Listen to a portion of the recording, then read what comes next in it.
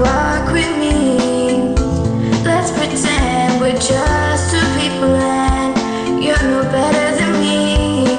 I like to ask you some questions if we can speak honestly. What do you feel when you see all the homeless on the street? And who do you pray for at night before you go to sleep?